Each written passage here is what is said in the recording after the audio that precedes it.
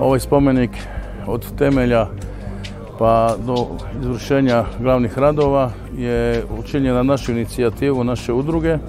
Mi znamo održavati ovaj spomenik sami, tako da na taj jedan način pomažemo općini u troškovima. Zadnji put kad smo radili, navukli smo i ovaj kulir sa strane.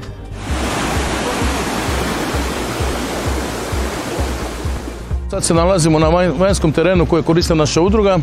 Ovaj prostor ovdje gdje se sada nalazimo, on je bio skroz zarašćen sa kupinama divljem i sve. Mi smo to sve kulturalizirali, očistili, navukli zemlje i to nam je sad jedan prostor gdje inače se družimo.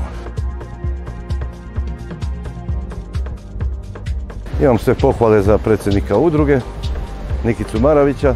Udruga djeluje volonterski, udruga djeluje rekreacijalno. Upravo se planira jedna akcija za dom Porticu, za djecu sa posebnim potrebama, uređenje njihovih prostorija.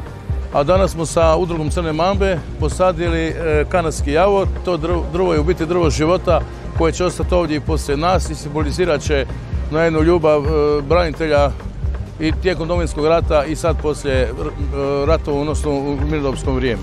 Bavimo se još znači, prikupljanjem donacijama za Zrinka, znači e, sudjelujemo i kao redari, dobrovoljno.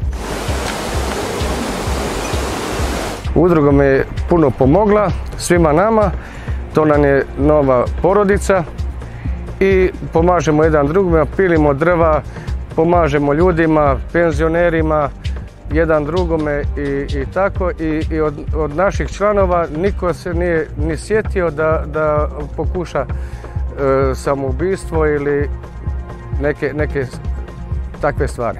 Da digne ruku jedan na drugoga. Sve malo po malo i kad se ruke slože sve se može.